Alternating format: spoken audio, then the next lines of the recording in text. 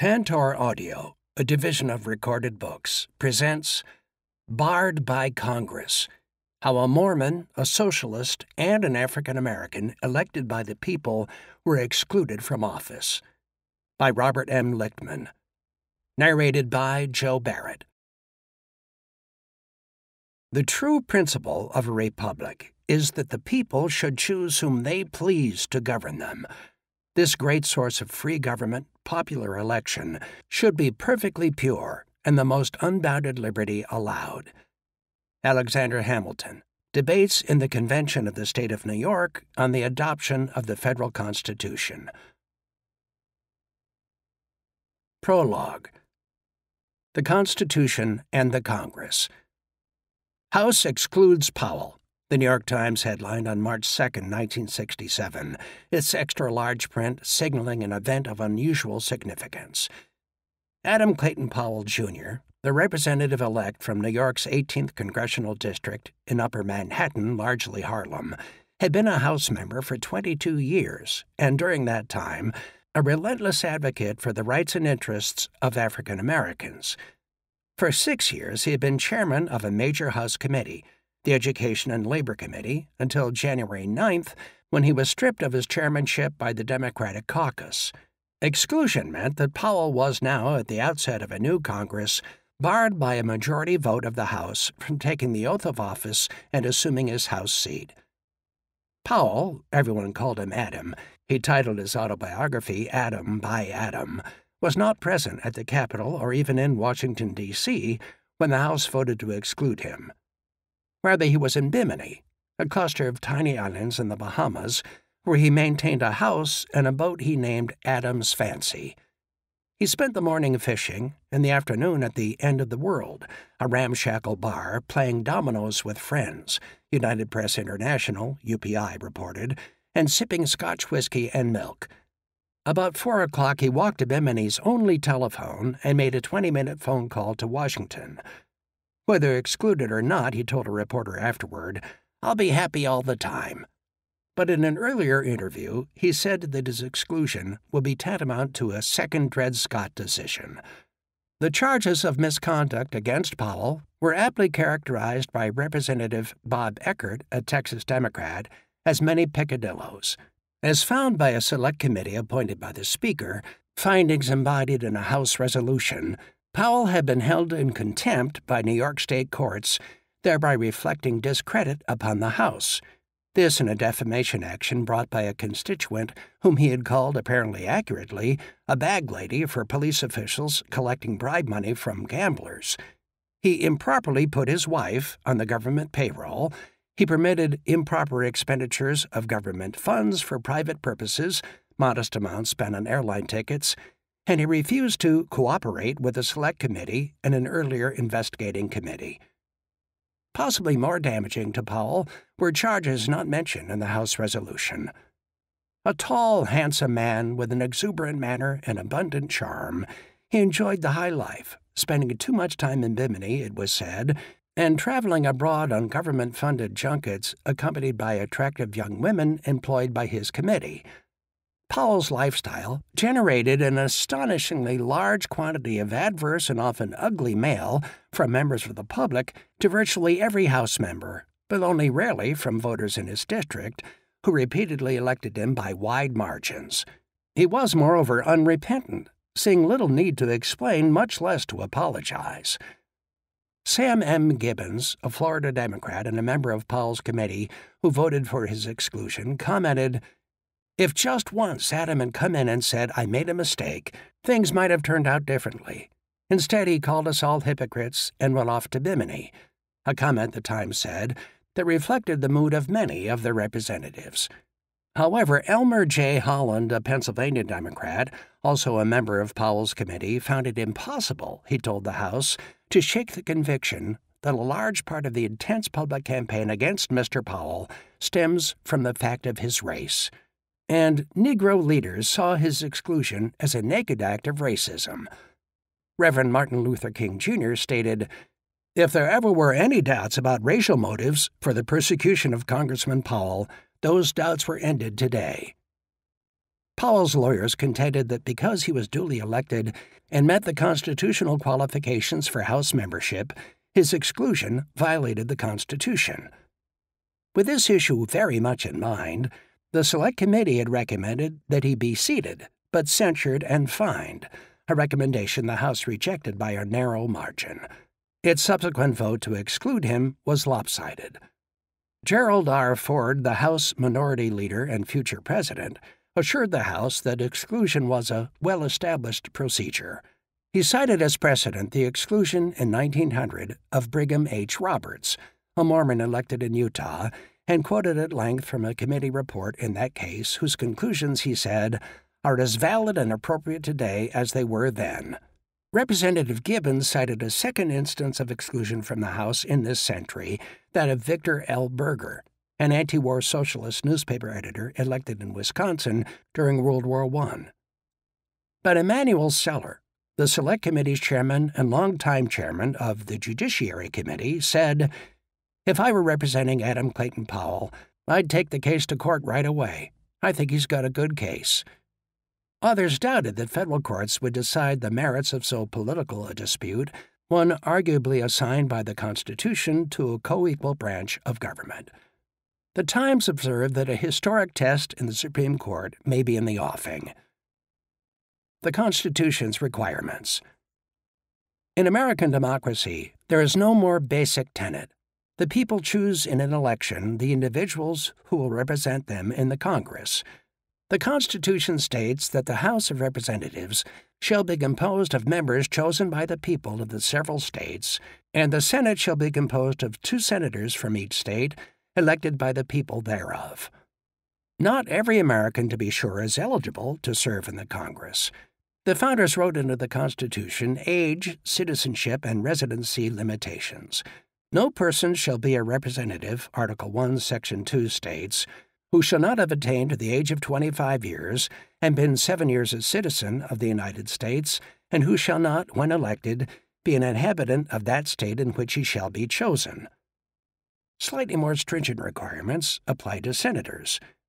No person shall be a senator who is not at least 30 years old, a citizen for at least nine years, and, as in the House, an inhabitant of the state from which he was elected. Another provision bars from serving in either House a person who holds any office under the United States during his continuance in office. Article 6 provides a formal prerequisite. The senators and representatives before mentioned shall be bound by oath or affirmation to support this Constitution. The first Congress by statute specified the words of the oath to be taken previous to entering upon any other business.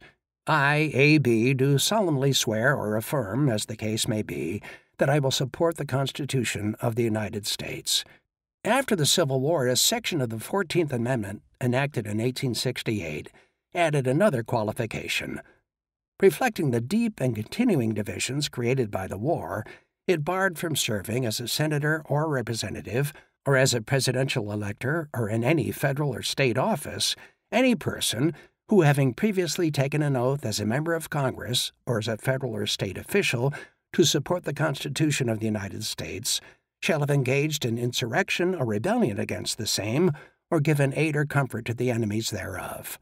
But this provision continues Congress may, by a vote of two thirds of each House, remove such disability. By the close of the 19th century, Congress had enacted statutes that removed such disability from every person to whom the provision then applied. The decision whether a congressman elect satisfies the constitutional qualifications, or indeed whether he was validly elected in the first place, was assigned by the founders to the House in question.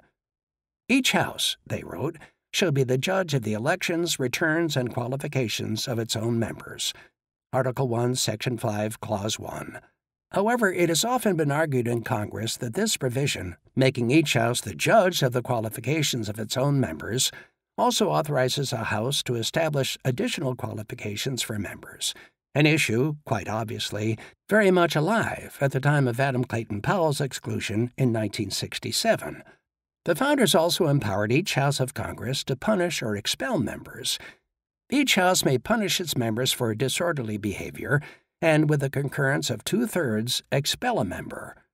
Both houses have at times ruled, albeit with far less than perfect consistency, that they are without authority to punish or expel for offenses committed prior to the member's election. This issue is significant because misconduct prior to a member's election was presumably known to the voters, who chose him notwithstanding his misconduct. Since 1788, when ratification of the Constitution was completed, sharp disagreements have repeatedly arisen as to whether Congress is authorized to add qualifications to those expressly stated. Suppose, it has been argued, a Congress member elect is a criminal, even a murderer, insane, a moral leper, a traitor. Surely such a person should not be permitted to serve in the Congress. And on a number of occasions, as in Adam Clayton Powell's case, the House or Senate has, by majority vote, excluded the winner of a congressional election, barring him from taking the oath and becoming a member, notwithstanding he possessed the constitutional qualifications. The rationales in these cases were that the individual was disloyal, or had committed a crime or immoral act, or had broken a law.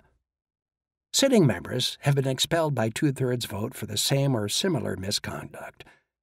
However, when it expels members, the Senate or House acts pursuant to express authority in Article 1, Article 1, Section 5, Clause 2, and subject to a supermajority requirement. So long as a two thirds vote can be obtained, the decision to expel is seemingly assigned by the Constitution to the discretion of the House or Senate, possibly subject to the unwritten condition that the member's misconduct did not occur prior to his election. The result of either exclusion or expulsion, of course, is to deny the people the representative they had chosen.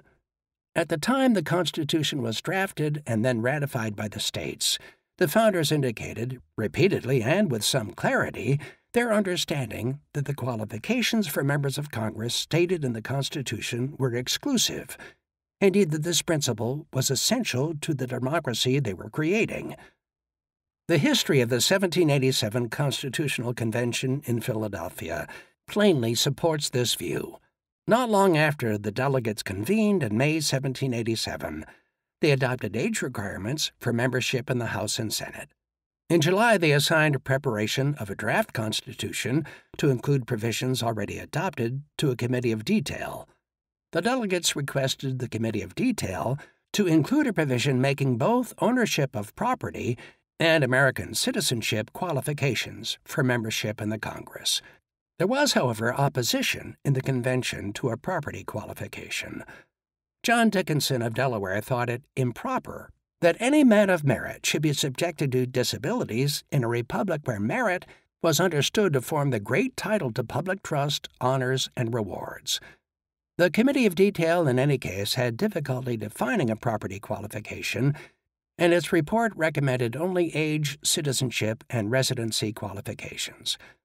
On August 8th, the convention unanimously adopted the three qualifications for House membership found in Article 1, Section 2.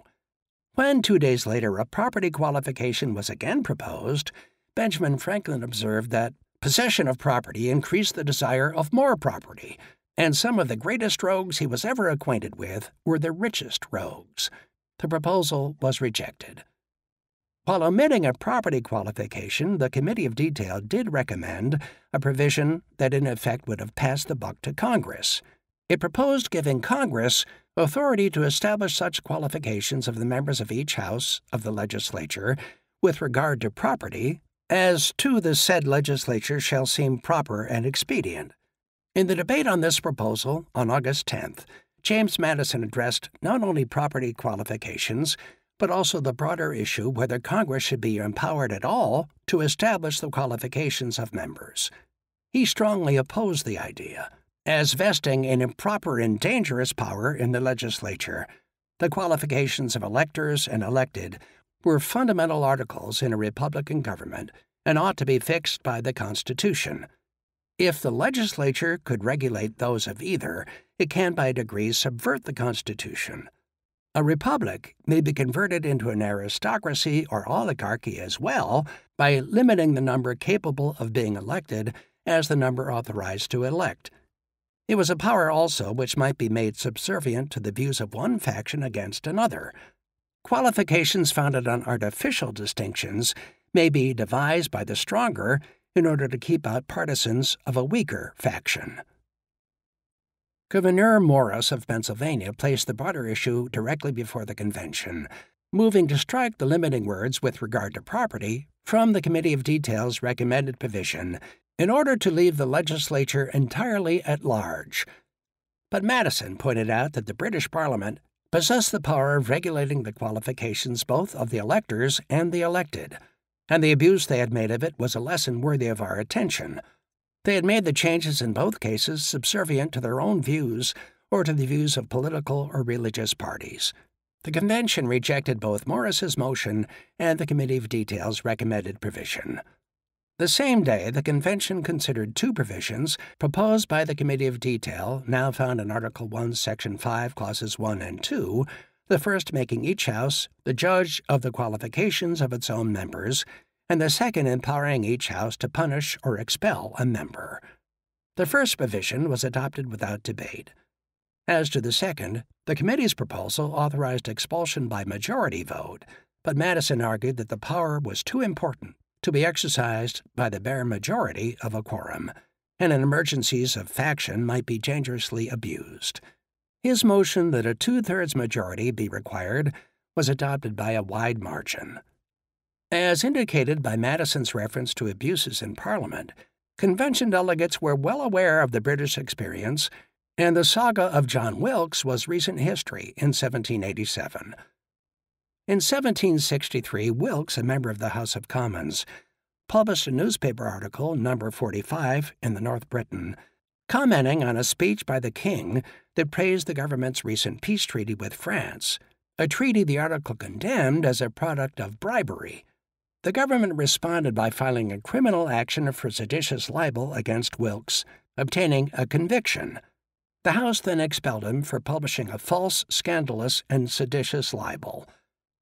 Wilkes fled to France, but returned in 1768 to run in new parliamentary elections and was elected, following which he surrendered himself to custody and received a 22 month prison sentence. The House of Commons declared his seat vacant. Another election was held, and Wilkes, in prison, was again elected.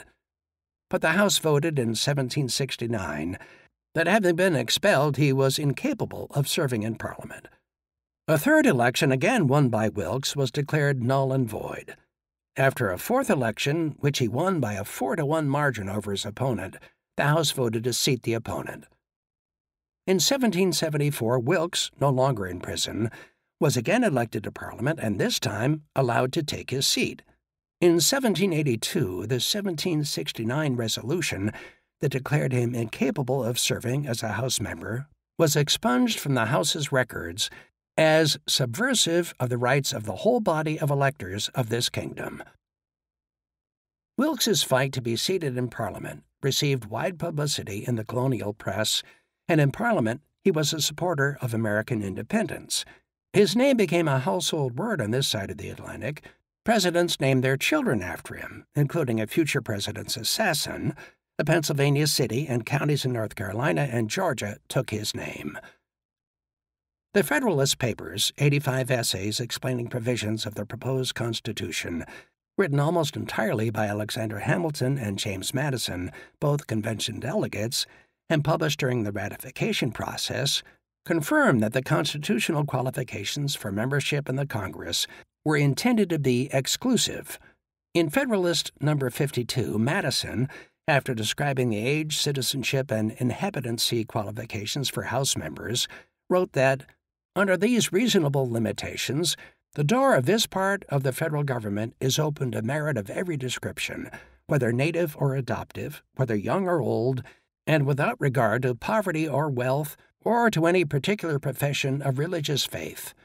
In Federalist number 57, having explained that the electors of the Congress are to be the great body of the people of the United States, he described as the object of popular choice every citizen whose merit may recommend him to the esteem and confidence of his country. No qualifications of wealth, of birth, of religious faith, or of civil profession is permitted to fetter the judgment or disappoint the inclination of the people. Hamilton in Federalist number 60 wrote that prescribing qualifications of property, either for those who may elect or be elected, forms no part of the power to be conferred upon the national government. And he stated unambiguously that the qualifications of the persons who may choose or be chosen are defined and fixed in the Constitution and are unalterable by the legislature. In the New York State Convention considering ratification of the Constitution, Hamilton added The true principle of a republic is that the people should choose whom they please to govern them. Representation is imperfect in proportion as the current of popular favor is checked. This great source of free government, popular election, should be perfectly pure and the most unbounded liberty allowed. The experience in Congress. While the convention and ratification histories thus show that Congress is not empowered by the Constitution to prescribe additional qualifications for members, the experience after Congress began functioning in 1789 has not been uniform. Nearly two centuries later, the Supreme Court characterized it as at times erratic. Erratic is an apt description. In a number of cases, the authors count as 12, all but one in the House, seven involving disloyalty during the Civil War era, a member elect was excluded by majority vote for lacking a qualification or for a disqualification not stated in the Constitution.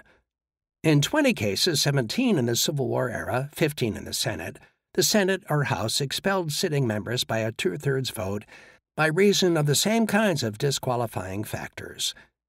In some expulsion cases, a House has ruled that a member's conduct prior to the election cannot be a basis for his expulsion and in other cases, the contrary. A full review of these often inconsistent cases is provided in the appendix. What follows is a summary. In the seven decades prior to the Civil War, neither House excluded a member elect. In two cases, exclusion was sought on the basis of state statutes that created an additional qualification not met by the member elect. In both cases, the House seated him and indicated that the constitutional qualifications are exclusive. During the same period, there were six cases in which expulsion was sought, but only one expulsion. William Blount of Tennessee was expelled by the Senate in 1797 for conduct amounting to disloyalty, a scheme to use American Indians to seize Spanish Florida and Louisiana for Britain. Another expulsion case was similar to John Wilkes's case. In 1798, a House member, Matthew Lyon, a Jeffersonian Republican from Vermont, published a letter which charged President John Adams with a continual grasp for power, unbounded thirst for ridiculous pomp, foolish adulation, and selfish avarice. The Adams administration prosecuted Lyon under the recently enacted Sedition Act of 1798, obtaining a conviction. Federalist members of the House then introduced a resolution to expel him on the basis of his conviction. The 49 to 45 party line vote for expulsion, however, fell short of the necessary two thirds. The Civil War completely changed the situation. While no exclusions occurred until after the fighting had ended in 1865, the war immediately produced a flood of expulsions for disloyalty. In July 1861, the Senate expelled 10 members, all from southern states, in a single resolution. It expelled another member in December and two more in January. In February, it expelled a member from Indiana, an anti war Democrat. The House expelled three members during 1861. In July 1862, Congress enacted a statute requiring members elect to take a new oath of office, dubbed the Ironclad Test Oath, not only to support the Constitution, but also disclaiming, in nearly 100 words of dense text, any connection to the Confederacy.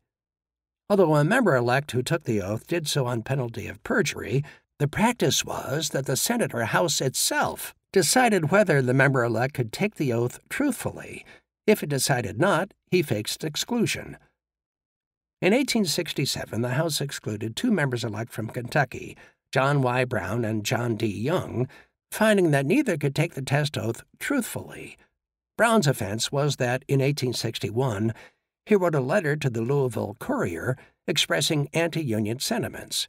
The Senate in 1868 excluded Philip F. Thomas of Maryland a former governor and secretary of the Treasury, finding him unable to take the oath truthfully.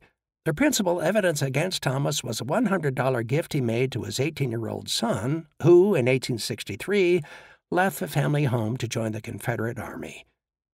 In 1869 and 1870, the House excluded a member elect from Georgia, J.H. Christy, and two from South Carolina, William D. Simpson and J.P. Reed, each on the ground he could not take the test oath truthfully. In July 1868, Section 3 of the 14th Amendment became effective, providing for the exclusion from Congress of persons who, having previously taken an oath to support the Constitution, shall have engaged in insurrection or rebellion against the United States or given aid or comfort to the enemies thereof. Section 3 was a principal factor in the exclusion of Michael Ryan of Louisiana in 1870. The amnesty provision in Section 3, allowing the Congress by two thirds vote of both houses to remove such disability, gave rise to many thousands of requests for relief. After enacting several statutes that granted relief to long lists of named individuals, Congress in 1872 passed by a two thirds vote a general bill removing the disability from all persons whomsoever except those in four classes of federal officials one class being members of the 36th and 37th Congresses, 1859 to 1863. In 1898, with the Spanish American War underway, Congress enacted a second statute that removed the disability from all those in classes excepted from the 1872 amnesty. No new case, exclusion, or expulsion based on disloyalty occurred until World War I.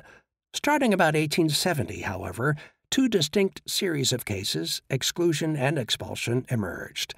One involving Mormons elected from Utah and charged with polygamy or with representing a church, that is, the Church of Jesus Christ of Latter day Saints, hostile to the United States, and the other a far more extended series of cases, continuing to Adam Clayton Powell's case in 1967 and into the 21st century, in which the member elect or member was charged with some type of crime, fraud, or unlawful or immoral act. Each group of cases resulted in two exclusions, and the latter group in two expulsions as well. The Utah Mormon series began with unsuccessful challenges to the Utah Territory's delegate elect in the 40th Congress, 1867 to 69, who was monogamous, and its delegate elect in the 43rd Congress, 1873 to 75, who was polygamous.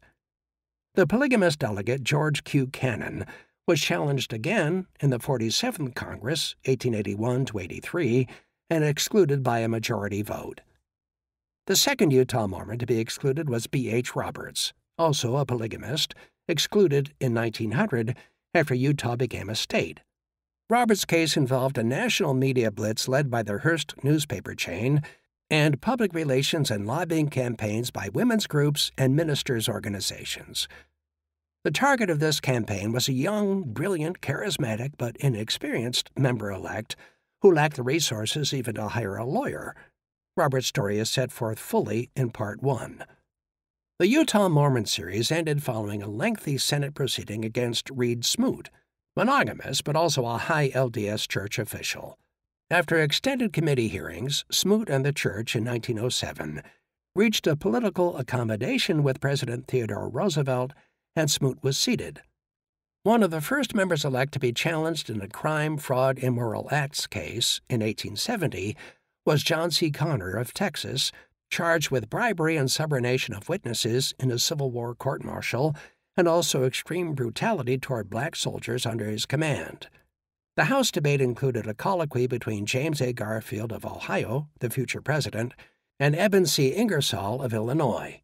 Mr. Ingersoll, there have been certain affidavits read to this House which, if true, present this applicant, Conner, as a moral monster. Mr. Garfield of Ohio. Allow me to ask my friend if he knows of anything in the Constitution of the United States and the laws thereof which forbids that a moral monster shall be elected to Congress. Laughter. Mr. Ingersoll. I believe that Congress has a right to exclude that moral monster from a seat if they see fit.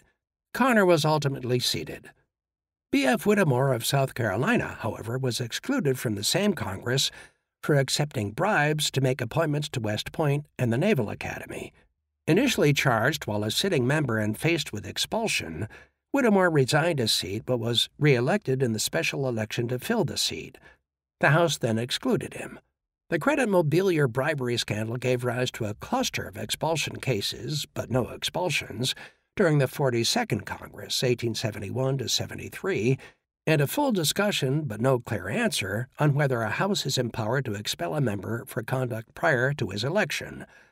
A special House committee found that the expulsion power had no qualification and enable the House to remove a member whose character and conduct showed that he is an unfit man, whose presence in it tends to bring the body into contempt and disgrace. But only days later, the House Judiciary Committee concluded that the power of expelling a member for some alleged crime committed it may be years before his election is not within the constitutional prerogative of the House.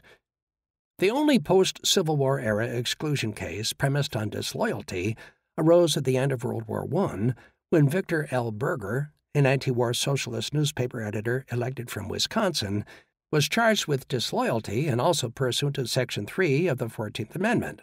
Berger had been indicted by the Wilson administration under a 1917 sedition statute, the principal evidence against him being five anti war editorials in his newspaper. Running on the Socialist Party ticket in the 1918 election, he was elected to the House despite the pending indictment, but the House excluded him in 1919. Tried and convicted of the sedition case and sentenced to 20 years in prison, Berger, on bail pending appeal, was re-elected in the special election to fill his seat, but he was excluded a second time in 1920. His story is set forth fully in Part 2. The last member elect to be excluded ostensibly for his many peccadilloes was Adam Clayton Powell in 1967. Powell's lawsuit led to a major decision of the Supreme Court in 1969 holding the constitutional qualifications to be exclusive. Compelled to seat Powell, the House stripped him of seniority and fined him. He returned to the House as its junior member. Powell's story is set forth fully in Part 3. Two House members have since been expelled for bribery one in 1980 and one in 2002. Roberts, Berger, and Powell cases. B.H. Roberts, Victor L. Berger, and Adam Clayton Powell, Jr. were the last three members elect to be excluded. All three men were outsiders, others, not in the mainstream of American politics. And all three cases entailed a motive for exclusion unacceptable in American democracy. The stated rationales, polygamy, disloyalty, and many peccadillos, respectively, do not tell the entire story. Religious bias in Roberts' case, racial bias in Powell's, and hostility to the anti war politics of a socialist member elect in Berger's played important, probably decisive, roles. Certainly none of the three was turned away for lack of competence, for each possessed exceptional talent. A year before Powell's exclusion, President Lyndon B. Johnson wrote to him that his tenure as a committee chairman reflects a brilliant record of accomplishment, representing the successful reporting to the Congress of 49 pieces of bedrock legislation, each bill attesting to your ability to get things done. Berger built a third party, that is, Socialist Party organization, that dominated the politics of a major American city, Milwaukee, for decades an intellectual, his contemporaries marveled at his abundant fund of knowledge in the spheres of social science and history. And three decades after Roberts' death, Sterling M. McMurrin, a Mormon academic and theologian, termed him the intellectual leader of the Mormon people in the era of Mormonism's finest intellectual attainment. The three stories are compelling and quintessentially American, with relevance to today's politics and lessons for the future. Part 1 Brigham H. Roberts Chapter 1 A Young Immigrant from England. At the time the House excluded him, B. H. Roberts was 42 years old, and his reputation in Utah stemmed largely from his skills as an orator, whose speeches in an isolated, mostly rural area attracted sizable audiences. His reputation as a preeminent Mormon historian and theologian came later. He remains very much alive. In 1969, several decades after Roberts' death in 1933, historian Leonard J. Arrington sent questionnaires to 50 prominent Mormon intellectuals asking them to name the five most eminent intellectuals in Mormon history. Roberts placed first in the survey, with a 17% margin over the second place finisher.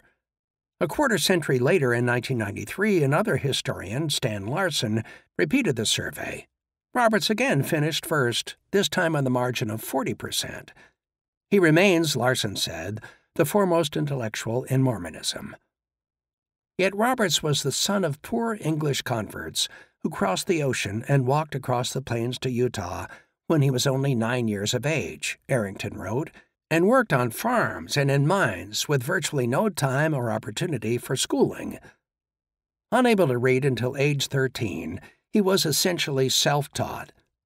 B. H. Roberts was born on March 13, 1857, in Warrington, Lancashire, about 180 miles northwest of London.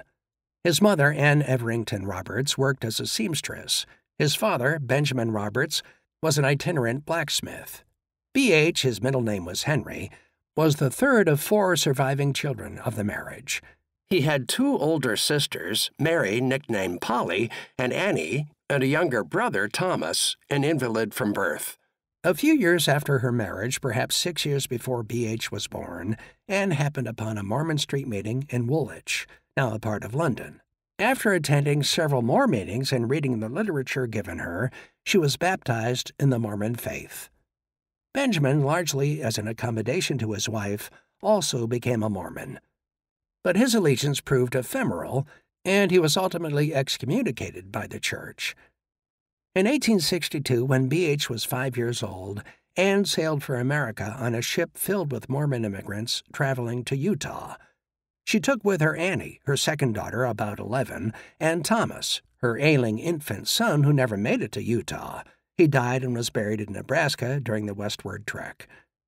Anne left behind her husband and her two other children, B.H. and Polly, about 13, hoping that in time she would be able to raise the funds needed to bring them to Utah. In her absence, the two children did not reside with their father. In fact, Anne had not informed her husband, who at the time was living elsewhere, of her plans to emigrate. She ultimately told him in a letter written aboard ship. To make the trip, she had used funds he sent her to enable the family to join him. The wife loved her faith more than she did her husband. B.H. later wrote, in his reluctance at accepting this call, and also certain unconquered intemperate habits and wild craving for independence, began to suggest the possibility of a family rupture. Anne arranged for B.H. and his older sister to live with families in England until they could rejoin her in Utah. The two children were separated. Polly, old enough to work productively, was taken in by distant relatives, the Pyes. B.H., too young to work, lived with a Mormon family, the Toveys. During his four year stay with John Tovey and his wife, they had no children. B.H. lived a sort of Dickensian existence. Although John was a remarkable street corner preacher of Mormon doctrine, B.H. recalled, the Toveys were inclined to heavy drinking. Most of their evenings, he wrote, were spent in taverns to which he was dragged. At one point, they sought to apprentice him to a shoemaker, but he ran away. In early 1866, word came via church officials in England that B.H. and Polly were to be part of a group of European converts scheduled to sail on April 30th from Liverpool to America aboard the ship John Bright. A day or two prior to the departure date, B.H. was reunited with his sister at the Pye home. Immigration was vital to the Mormon community in Utah. The trades contributed by emigrants leaving Liverpool in the 1850s included miners, ironmongers, weavers, boot and shoemakers, boilermakers, spinners, masons, among scores of others. The Perpetual Emigration Fund, organized by the LDS Church about 1850, was designed to assist poor Mormons in emigrating, which it did with great success. By 1870, more than 51,000 Mormon immigrants had been assisted to America, of whom more than 38,000 were British and over 13,000 were from the continent and Scandinavia. BH and Polly received PEF assistance in traveling to Utah but with an obligation to repay the fare when they were able, which they later did. BH when he worked on construction of the Utah Central Railroad. In the 1860s, departures from British ports of vessels chartered by PEF's shipping agency were commonplace. An observer was Charles Dickens, who in 1863, a year after Anne's departure and three years before B.H. and Polly's, boarded one such ship in the port of London shortly before it sailed. He had seen other emigrant ships, Dickens wrote, but he found the Mormon passengers strikingly different. He thought the most noticeable characteristic in the 800 passengers as a mass was their exemption from hurry. The ship's captain told him that the passengers arrived in small parties that had never seen one another before, but within a couple of hours established their own police, made their own regulations, and set their own watches at all the hatchways. Aside from a few children who cried, Dickens found the universal cheerfulness amazing. B.H. and Polly's voyage across the Atlantic on a sailing vessel took nine weeks. Arriving at Castle Gardens in New York City on June 6, 1866, they began a circuitous westward journey via steamboat to New Haven, rail and riverboat to Montreal, Niagara Falls, Detroit, and points in Illinois, finally arriving on June 19th at a place near Council Bluffs, Iowa, a principal point of Mormon embarkation by wagon train to the west. There they waited over three weeks while covered wagon trains, provided by PEF, were outfitted and the immigrants divided into groups. A total of 10 trains departed in 1866, in total over 3,000 oxen and 200 mules, about 400 wagons, and a slightly larger number of teamsters, 40 mounted guards, and 89 horses. The train to which B.H. and Polly were assigned, transporting an estimated 375 immigrants, departed on July 13th. Because the wagons were loaded with freight, it was mandatory that none ride but the aged, the crippled, or the sickly. Even for small children, the journey was to be a 1,000 mile foot march. In the course of the two month march, the wagon train had to cross major rivers. While crossing the Platte River, B.H. lost the clogs that served as his shoes, and he walked barefoot the rest of the trip. The train lost a large number of its cattle. When food rations ran short, the travelers had to survive on hunted game. A relief train with food sent from Utah met them on September 3rd. The immigrants' wagon train reached Salt Lake City on September 15, 1866. B.H. and Polly were reunited with her mother and sister, who lived in nearby Bountiful in an unfinished house made of logs and partially covered by a dirt roof. Anne owned this house, B.H. learned, but she was desperately poor. During their four years of separation, Anne had been both married again and widowed. She earned a bare living by house to house sewing, often bartering sewing services for food. Roberts' arrival in 1866 was less than 20 years after Brigham Young arrived in Utah, leading a contingent of Mormon exiles from Illinois. The community they built conjoined church and state, politics, the economy, and society into one whole, a community in which virtually all aspects of life were shared within the group. By the time Roberts arrived, the population of the Utah Territory had reportedly reached about 100,000, of whom some 300 lived in Bountiful. It was a crude sort of society that existed in Bountiful, and for that matter all through Utah, he recalled, it was a struggle for physical existence food, clothes, and in the winter, heat. Money was scarce, and the residents lived by bartering commodities and services. Schools were of the crudest kind, the teachers largely untrained. There were, he wrote, no tax sustained schools and no high schools. At age 11, Roberts attended a school conducted by a friend of his mother in her home, sustained by voluntary tuition. It was here he learned the alphabet and at 13 to read. He then attended, he said, a semi public school taught by an old Scotchman. But the schoolmaster was so mocked and abused by the larger boys of the school that he left Bountiful. The exigencies of the Roberts family's situation required B.H. to find employment at ever so little compensation with the farmers wherever it could be found. He worked husking corn and stripping cane at molasses mills, being paid in kind molasses, corn, apples, pork or ham, potatoes, anything, he said, that could be used to eat or make clothing. After his mother married again when he was 13 to Seth Dustin, a contractor frequently employed by railroads, B.H. worked for Dustin on construction of the Utah Central, driving a team of oxen that pulled a scraper. He also accompanied Dustin in prospecting for coal and silver and ended up spending three years in a rough mining camp. There he engaged in camp cooking, prospecting, water carrying, and the like, and absorbed much that was injurious to character building.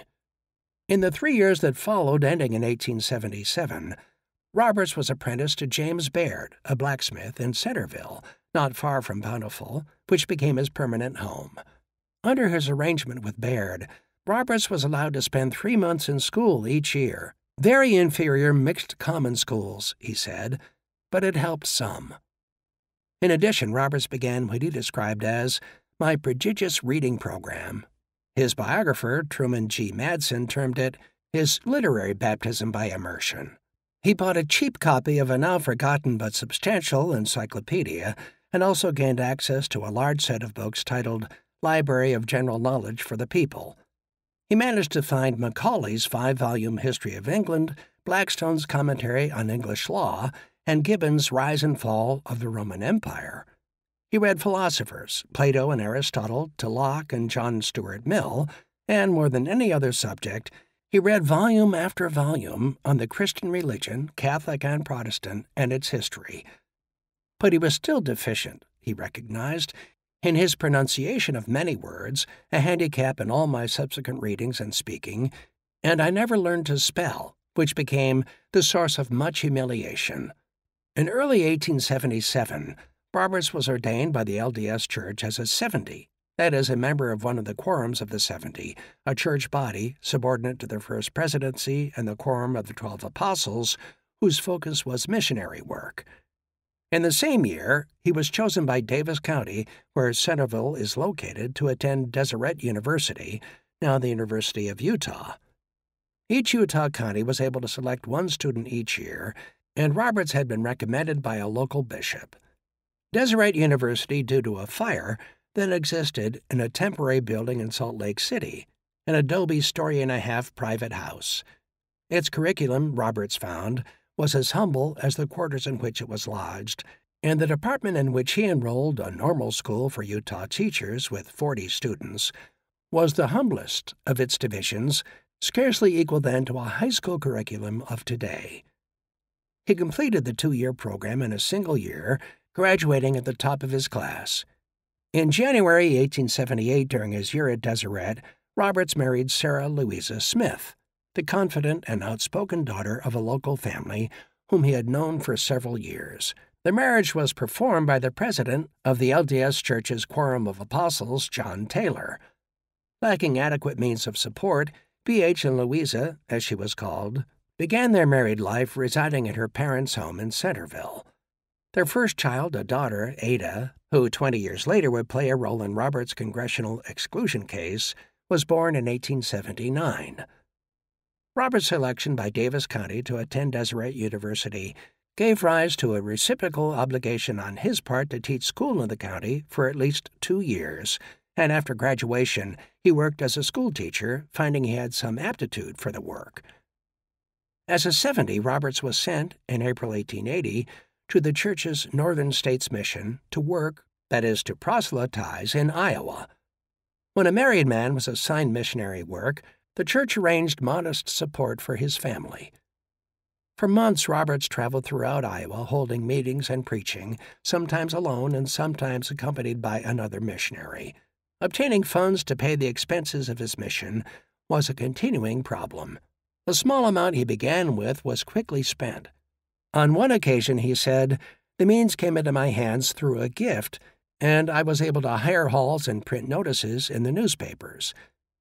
But on another occasion, he had to work on a farm harvesting grain in order to pay outstanding bills. At times, he encountered hostility to Mormons. A meeting in Sioux City was disrupted by a small, angry mob, which had to be dispersed by police. His living accommodations were haphazard, cheap hotels, requests to strangers for room and board, at times sleeping outdoors. In December 1880, Roberts, whose health had suffered in the Iowa climate, was reassigned to the Southern States Mission and sent to Tennessee, arriving on New Year's Day. A year later, in a letter home, he took inventory. During the year, he had traveled a total of 2,549 miles, 1,846 on foot, held 153 meetings in 11 counties, helped organize four church branches, and baptized seven persons. A highlight of his year took place not long after his arrival in Lebanon, Tennessee, the site of a college to educate Presbyterian ministers.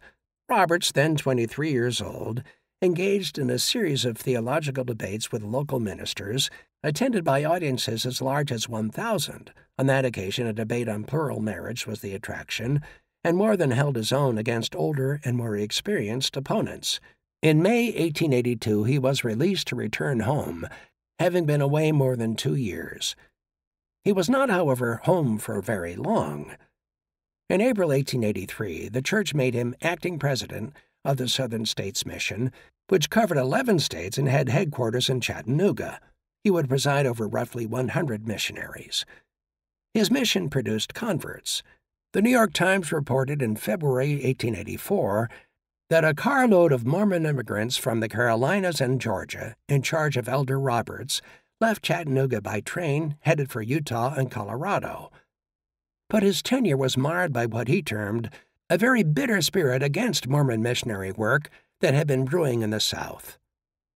On a Sunday in August 1884 in rural Cane Creek, Tennessee, southwest of Nashville, Four Mormons, two were missionaries in the Southern States Mission, were murdered in an attack by a party of 30 masked men on a home at which a church meeting was to be held.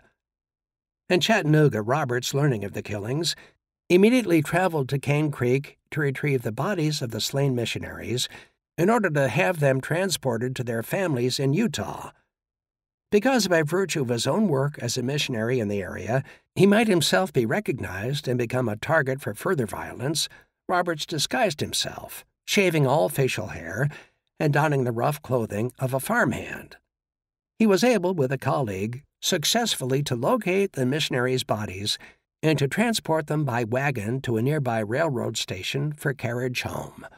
The underlying problem, however, did not disappear. Violence, Roberts wrote, was still rife in the South, more especially in Tennessee, Georgia, and Mississippi. After being summoned by John Taylor, now the LDS Church president, to meetings with church officials, he returned to Tennessee to arrange for the transportation to Utah and Colorado of Mormons from Cane Creek and other danger zones in the South. By this time, Roberts wrote, my financial condition had been growing steadily worse and he asked to be released from his mission in order to provide for my family. During 1885, he returned to Utah, and the following spring he began work as associate editor of the Salt Lake Herald, a secular newspaper founded in 1870, owned and published by Mormons. I fell in love with newspaper work, Roberts wrote.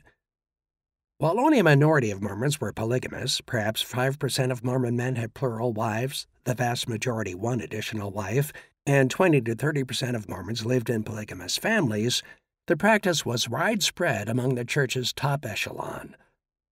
During a temporary stay in Utah in the fall of 1884, Roberts had met with church president John Taylor and afterward discussed the issue of a second marriage with his wife Louisa.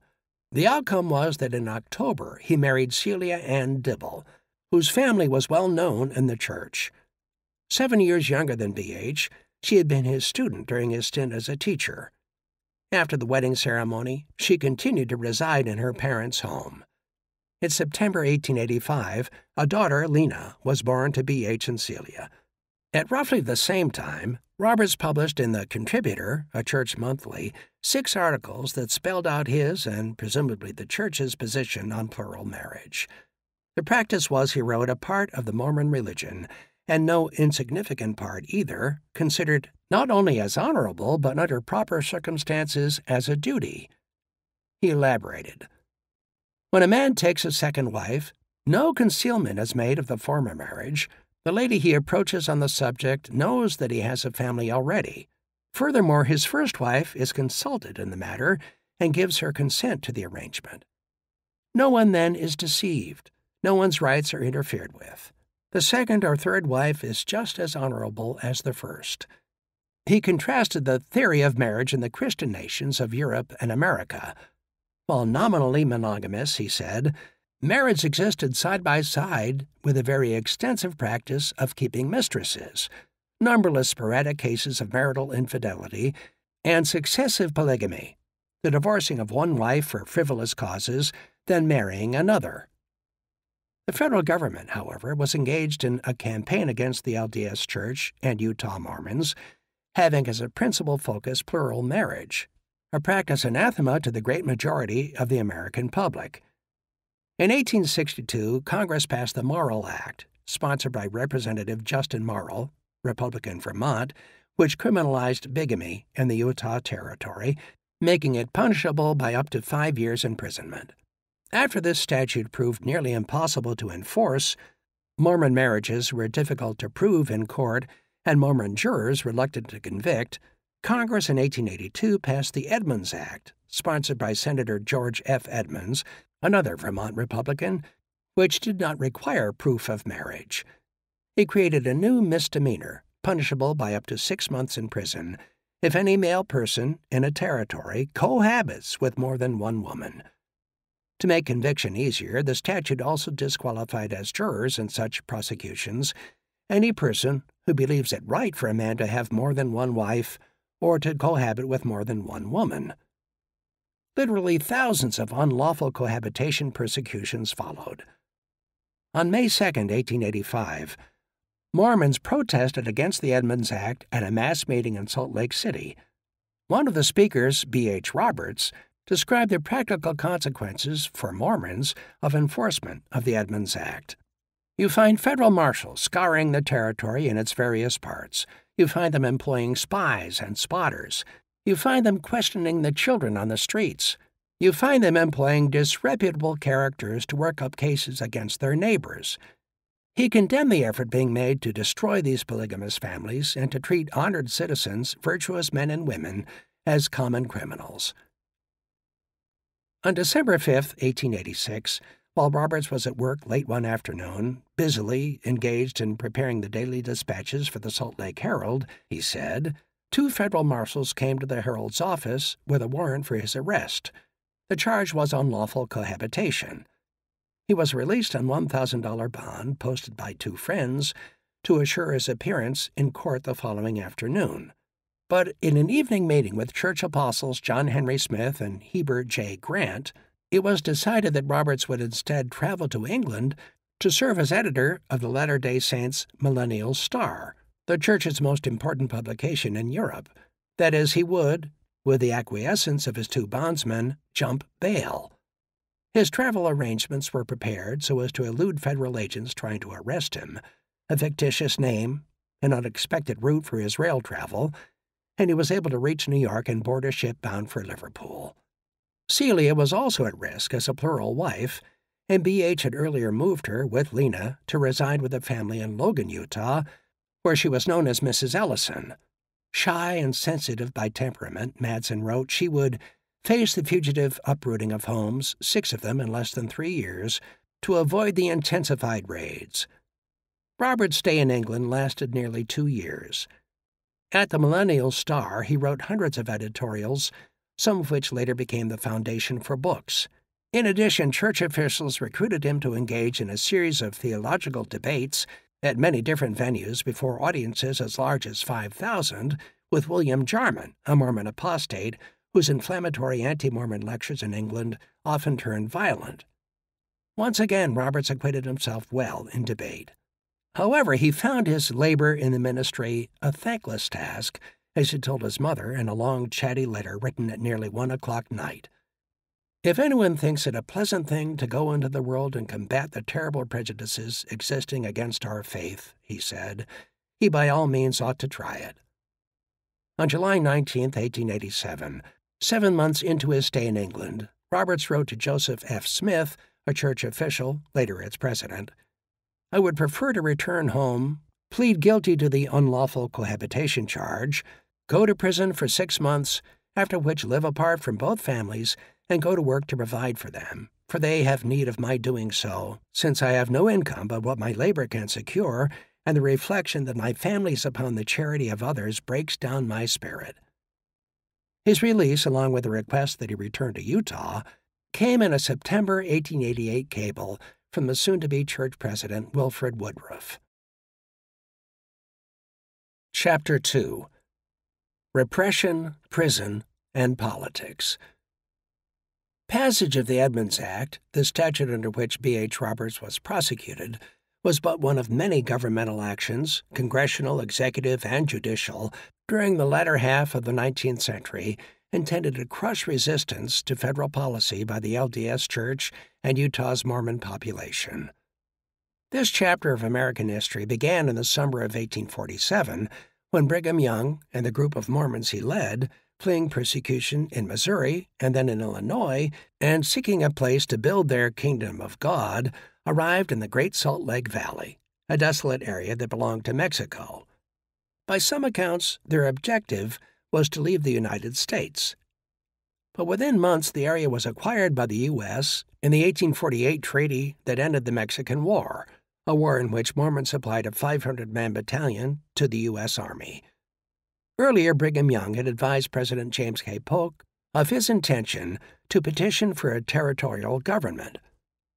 Finding no governmental presence when they arrived, the Mormons created their own, adopting a constitution for the state of Deseret, bounded on the west by the Sierra Nevada, on the east by the Rockies, and including present day Utah, Nevada, and parts of six other western states. An election followed in which Young, the church's president, was chosen as governor and another church official as Chief Justice. A church council chose members of a bicameral legislature. Deseret's government, in essence ecclesiastical authority functioning through civil forms, continued until September 1850 when Congress established the Utah Territory. President Millard Fillmore appointed Brigham Young governor of the new territory. But when other presidential appointees to territorial offices arrived from the East, they found an already functioning government and an often unwelcoming environment. Some of the appointees, concerned for their own safety, quit and returned home, and three, two of them justices of the Territory Supreme Court, submitted a scathing report to the president. We found upon our arrival that almost the entire population consisted of a people called Mormons, and the Mormon Church overshadowing and controlling the opinions, the actions, the property, and even the lives of its members, usurping and exercising the functions of legislation and the judicial business of the territory, openly sanctioning and defending the practice of polygamy, or plurality of wives. Brigham Young, they said, ruled as he pleased. This clash of jurisdictional authority, one historian observed, was to resound in Utah Territory through the next four decades. In 1857, the clash came close to erupting an armed conflict, the so called Utah or Mormon War. The incoming president, James Buchanan, informed that Brigham Young was exercising absolute power over both church and state, appointed a new governor, Alfred Cumming, and other officials, and sent with him a military force for their protection. Addressing Congress, Buchanan spoke of the first rebellion in our territories and asked for four additional regiments to aid in suppressing the insurrection. Young, in turn, declared martial law and readied a Mormon militia, the Nauvoo Legion, to resist. The federal force reached military posts east of Salt Lake City, where winter weather caused them to halt. Desultory negotiations between the two sides took place, and direct conflict was largely avoided. With the advent of the Civil War, the Mormon dispute receded in importance. Although the Republican Party platform in 1856 famously condemned those twin relics of barbarism, polygamy, and slavery, President Abraham Lincoln, asked what he planned to do about the Mormons, replied, I propose to let them alone. For their part, Utah's Mormons, forced to accept a Gentile, non Mormon governor, and substantial federal control continued their efforts in Washington to obtain statehood, which would allow them to elect local officials instead of having them imposed from outside through an appointive carpetbag process. Statehood, however, was not an achievable goal so long as plural marriage remained a divinely instituted obligation for Mormons. The string of enactments that Congress directed at the Utah Territory reflected its and the nation's preoccupation with this practice. The 1862 Morrill Act, which criminalized bigamy, was, as discussed before, followed in 1882 by the Edmunds Act, which criminalized unlawful cohabitation. The Edmunds Act also denied the right to vote and to hold public office to any person cohabiting with more than one woman, and also to any woman cohabiting with any such persons. The Utah Territory, since 1870, had allowed women's suffrage. In 1887, the Edmunds Tucker Act, Edmunds' co sponsor was Representative John Randolph Tucker, Democrat, Virginia, eliminated women's suffrage in Utah. Mormon women, contrary to expectation, had voted in tandem with their husbands and their church, essentially doubling the vote of Mormon men. The act, in addition, imposed a test oath as a precondition to voting, holding public office, or serving as a juror in the territory. It required each prospective voter, public official, or juror to swear that he will faithfully obey the Edmunds Act and will not aid or abet, counsel, or advise any other person to commit polygamy or unlawful cohabitation. Because Congress's bigger game was the political power of the LDS Church, not merely polygamy, it aimed separate provisions in the statutes directly at the Church. A section of the Morrill Act in 1862 annulled the territorial statute under which the church was incorporated. Another section provided that no religious organization could acquire or own more than $50,000 in real estate, with any access to be escheated to the federal government. Although these provisions were not implemented for many years, the. We hope you enjoyed this preview. To continue listening to this audiobook on Google Play Books, use the link in the video description.